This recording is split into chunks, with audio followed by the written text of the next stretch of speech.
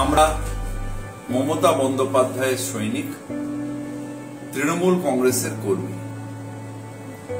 একুশে জুলাই আমাদের আবেগ। আমরা একুশে জুলাই ধর্মতলায়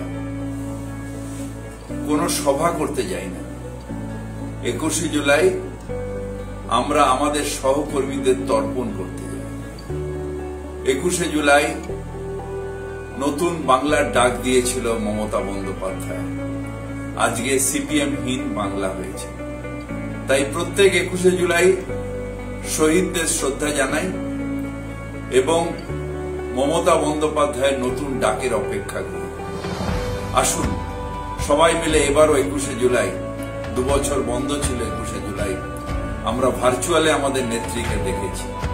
এবার আবার নেত্রীকে সামনে দেখে তার নতুন ডাক, ভারতবর্ষ দখলের ডাক, ভারতবর্ষের মানুষের কষ্ট, দুঃখ দূর করার ডাক, ভারতবর্ষের বিজেপিকে তাড়ানোর ডাক, সেই ডাক দিয়ে আবার নতুন আন্দোলনের সূচনা হবে।